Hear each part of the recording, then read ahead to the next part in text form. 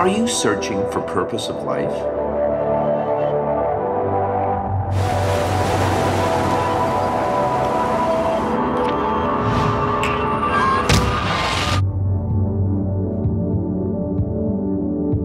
Discover your true identity.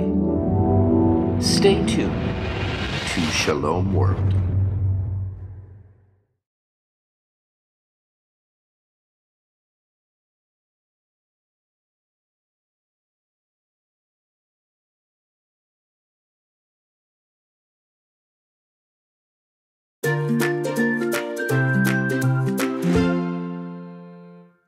Was 18 years old, I went to Poland for World Youth Day and I heard a story that, that left me in tears about a man who had a traumatic thing happen to him in his life. Rather than feel sorry for himself, he did something about it so that no one else have to experience something like that.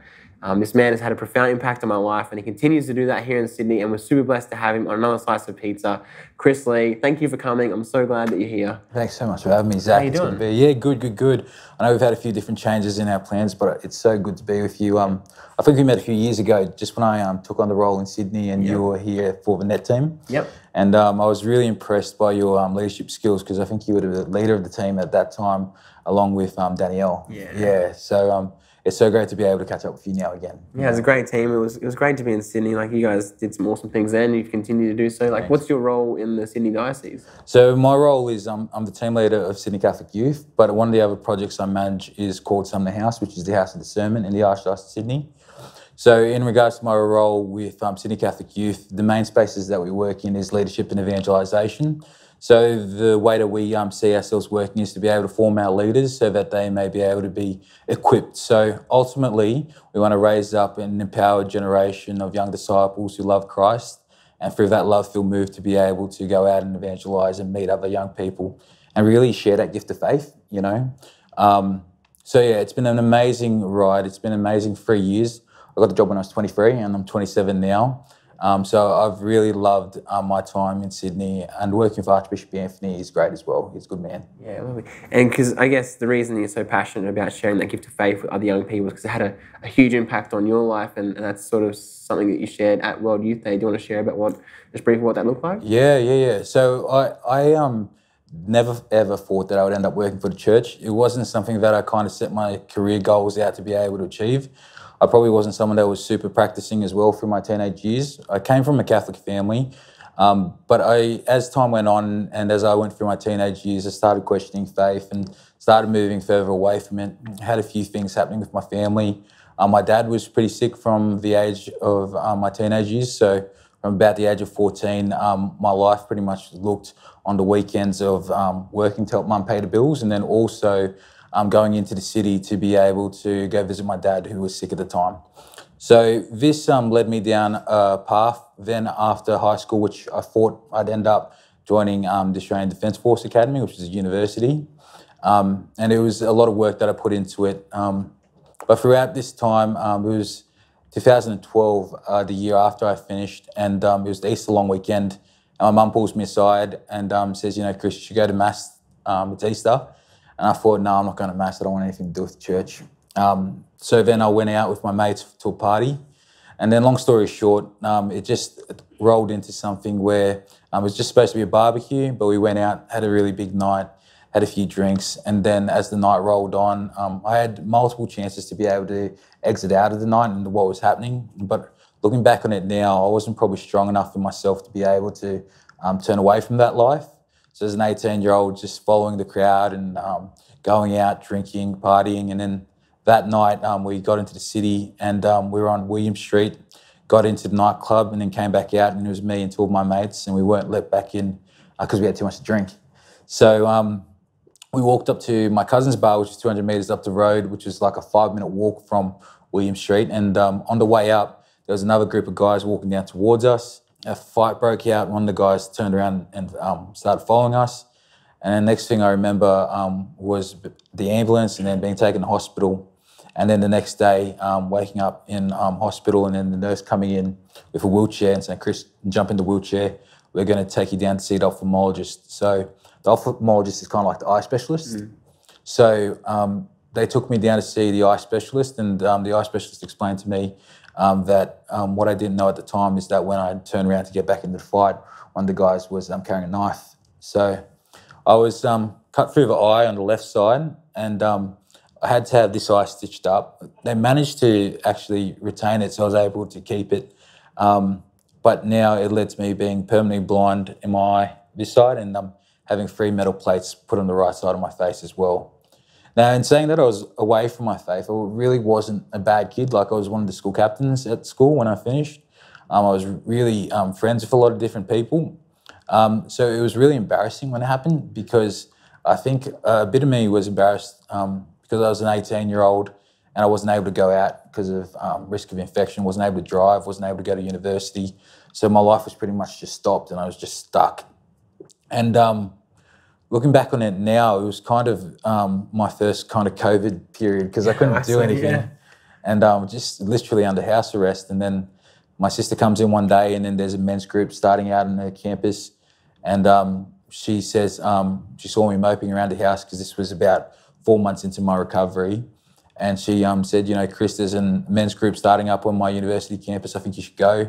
And then I said um, no like five times.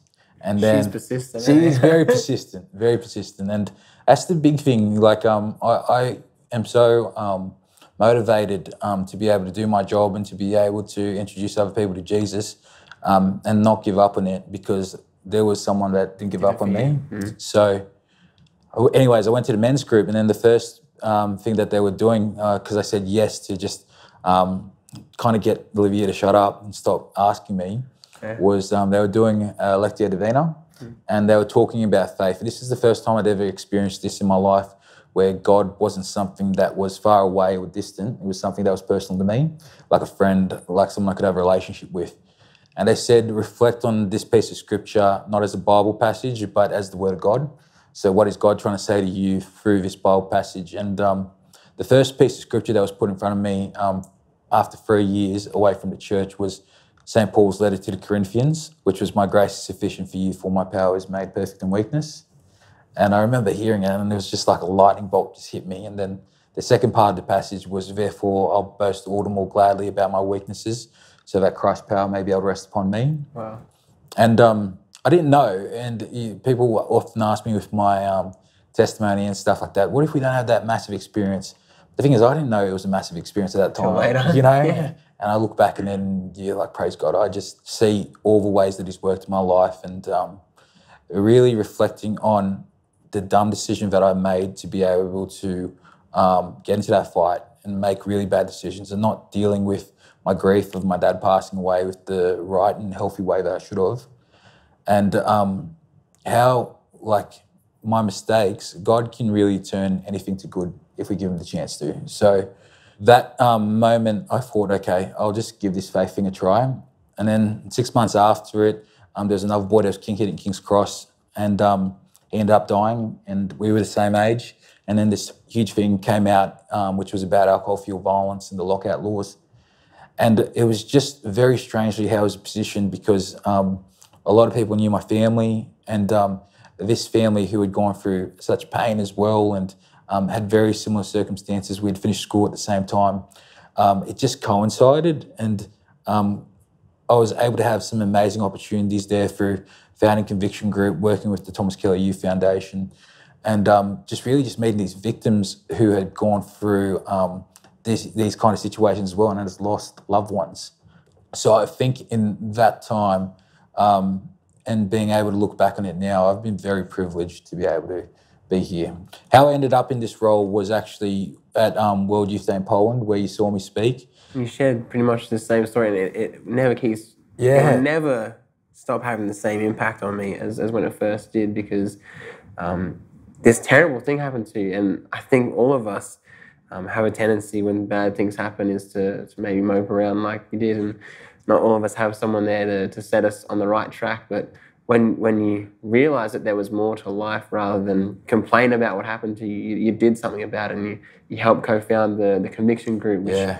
the work you guys did there is, was helping young people do what exactly? So we were working with um, young men um, specifically, and it was around the kind of idea about starting conversation around um, young men's health issues that they may face. So things like body image um, are things that people wouldn't associate for something that young men or teenage um, guys have to deal with. Yeah. Um, but I think at the last needle exchanges, um, statistics that they were looking at was that the there's a huge increase, and um, that when they asked him the questionnaire for um, when they did the um, kind of changing of the needle exchanges and stuff like that, it was an interesting study, um, and they said um, steroid was by far, steroids was by far the um, largest amount of um, you know illicit drug that was used or performance enhancing drug that was used. So the idea um, that body image was just something that young uh, women faced was also really confronting. Mental health, um, three out of four suicides are men, and then um, I think two out of four are young men. Yeah. So uh, learning about that in that space, and then you just realised um, when we were looking at these things, a lot of these issues really stemmed back to the idea that um, young guys don't really have a way to be able to um, talk about things. They a lot of them don't have a fatherly figure as well. and then just gets bottled up until it, it explodes. And you know, I recently Yeah. spoke with with John, one of the guys on your team, about um, you know letting these things out and letting our bodies feel how our souls are feeling in, in a healthy way, so it doesn't you know build up and explode in alcohol fueled violence and things like that. So Yeah. um, it's incredible work that you, you guys are doing. And um, since then, you went on to share about your work and conviction, this testimony at World Youth Day. You got this job in the diocese. Um, what are some of the things that you noticed when you came into this role in the diocese that um, maybe weren't right, and some things that you wanted to, to make a difference in? Yeah, I was really lucky. Like the um, the guys that came before me, I've got a lot of respect for um, in their role and their capacity. They did an amazing work, and a lot of them um, I was able to meet up with before and be able to talk about it. I guess in the space which we were working in, um, I it, what they were asking in the sense was to be able to move to more of a decentralized model of youth ministry. So to be able to see what we could do to be able to equip our leaders. Um, so things have changed over time. Um, I think a big one, which I tried to um, be able to incorporate a bit more, was kind of um, working in the sense of just starting with the um, basics with our young people, which is things like prayer, community, hospitality. One of the things that I've really um, seen with the um, with in the, being in this role is how much we can learn from churches in the sense of um, maybe not just Catholics, but also um, things like Alpha, you know, and seeing the way that they approach their ministry. I think one of the things that we struggle with um, with youth ministry is that it's still seen as a volunteer volunteer kind of thing. Um, and until we move our mindset to know this is something worth investing into in regards to resources, money, getting someone that's able to be in that role full time, I think that's really where things will change. Um, because the way that we should see our ministry isn't something that's kind of like an add on to our work. So if we have a professional job and we're professional in that work, so we're able to set our KPIs and grow and stuff like that, we should do the same thing when it comes to our ministry. It's just as important, you know. Um, so whether you're an accountant and you do youth ministry on the side, um, it really should be approached with the same minds, mindset in the sense of um, professionalism, planning, and um, just being clear with your vision. You know, a big thing that we realised is that um, a lot of people talked about burnout um, in regards to youth ministry, but I think for me, there wasn't much of an understanding to try and figure out why this burnout occurred. And really, um, what we came to was that a reason why a lot of our youth leaders burn out is really because of isolation. Like, that's the big thing. A lot of them feel like they're alone. Um, and then they're doing their ministry. And then when they're coming up these hurdles, they don't have someone to be able to go and talk to, to be able to say, what should I do in this next part?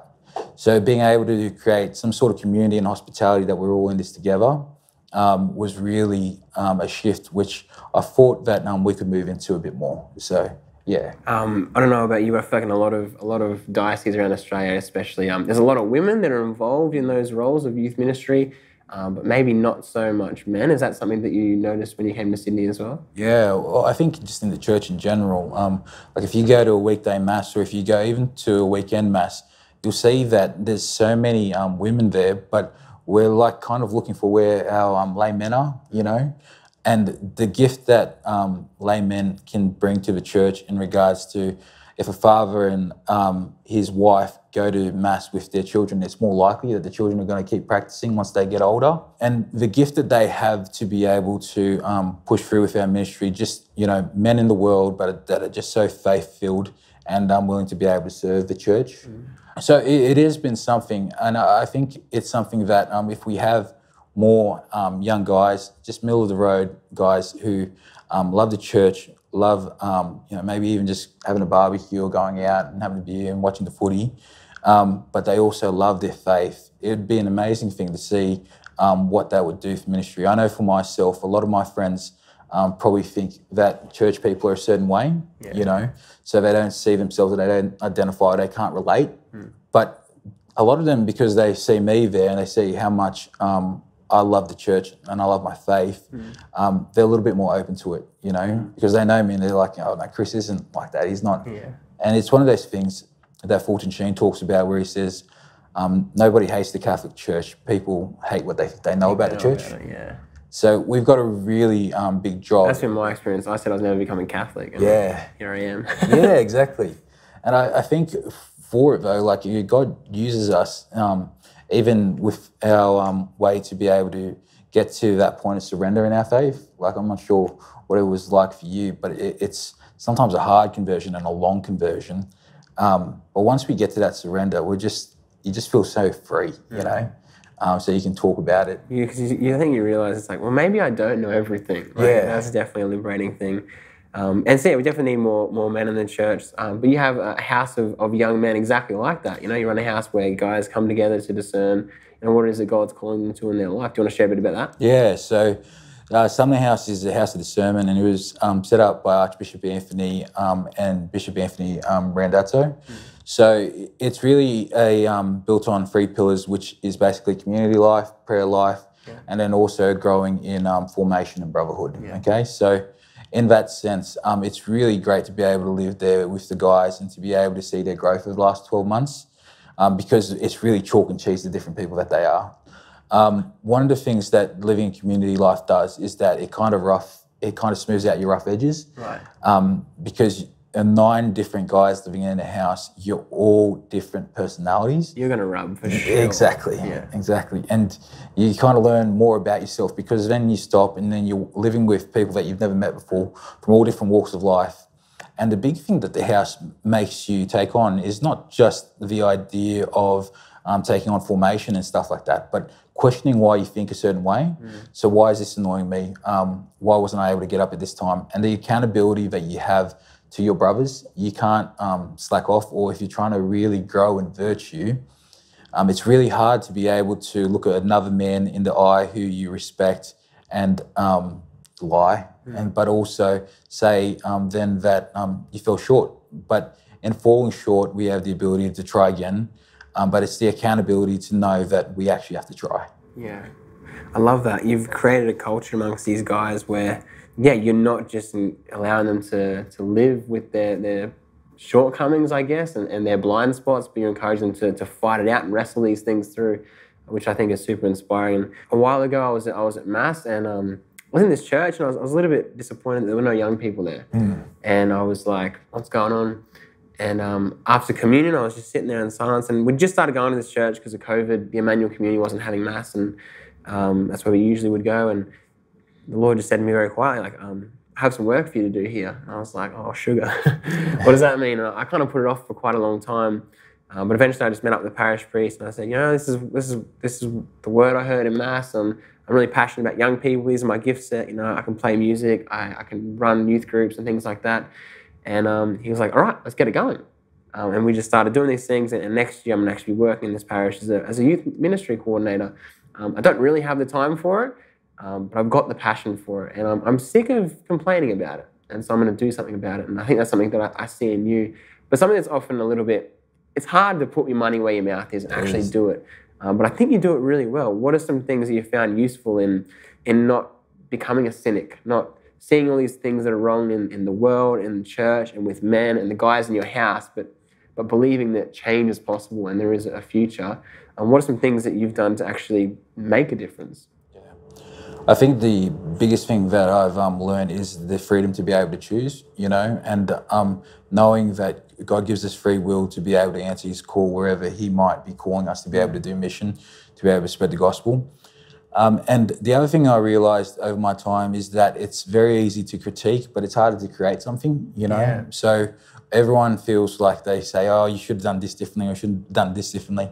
And I think in the church as well, um, if you're going to go into ministry or if you're going to push against culture, if you're going to try and change something, you need to be able to understand that a lot of the times the people that you think um, should be on your side might be the ones that are actually making it a bit difficult for your ministry. Mm. But in understanding that, you realize that this is just a barrier that's going to come up, but you just move through it. You know, like I remember hearing a story about um, this parish, and they wanted some of the parishioners wanted to run just uh, tea and coffee after mass to be able to allow some hospitality to happen.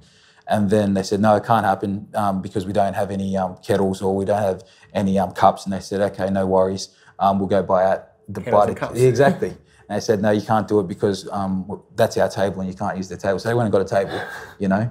So there's always going to be this um, barrier, and through that, it's actually quite um, nice because you grow in your kind of faith because you know no matter what happens through this, and um, God's given you a specific mission to be able to follow through, no matter how big or how small it might be. But you just stay committed to that, you know. And I um I've seen it a lot, and I, I think to the young people um, that are listening, like I remember once I was told, um, be the church, create the church that you or something. Let me get it straight. It was be the change in the church that you want to have, or something like that. It was Yeah, be the change you want to see in the world. or yeah, something, but he based it on the church. church. Yeah, yeah. know? I think it's a Gandhi quote. Yeah, that's right. Yeah, cool. Or maybe, yeah. But it, it was basically on the premise of if if you want to do something, you go ahead and do it. You know. Yeah. And if you can't do it, find out why. Yeah. And find out what you can do. Um, Yes. I've literally just started reading, started reading church documents to find out whether these these things that I want to do that people are saying I can't, see whether they're, they're right. And if they are, hey, maybe I don't know everything like we'll talk about before. Yeah. Um, but yeah, I think there's a lot for us to learn about the ways that you've just persevered through through hard times and those ladies that wanted to have that tea and coffee. Yeah, you know, right. buy a kettle and cups and a table. Um, there's heaps there for you guys to choose through. We're just about out of time, Chris. We're so grateful you. for you coming on. Thank you, Zac. Thanks Thanks, on the work you're doing. And please join us next week for another slice of pizza. Thanks, guys.